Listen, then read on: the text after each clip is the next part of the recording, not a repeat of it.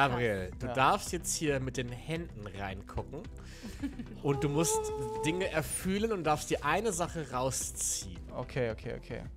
Ich glaube, ich habe was. Und es ist. ah, Na, was ist Kondome. es? Naja, Ja, ey, wie weißt sind du was? die denn da das ist reingekommen? eigentlich sehr, sehr gut, Ja. weil äh, wir wollen ja eine Kelly Family 3.0 verhindern. also, Also mit dir stirbt die Kelly Family aus. richtig. Dank euch.